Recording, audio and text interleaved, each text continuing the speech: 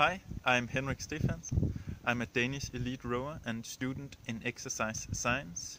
Besides that, I've always have a great fascination for nature in the Arctic region. Because of that, I'll have this burning desire to go on Fjällräven Polar. To show how motivated I am, I've made a wood project I hope you all want to watch and in the end vote me for Fjällräven Polar.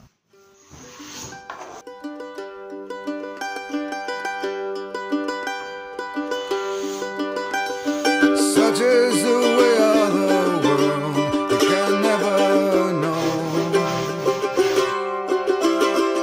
Just where to put all your faith, and how will it grow? Gonna rise.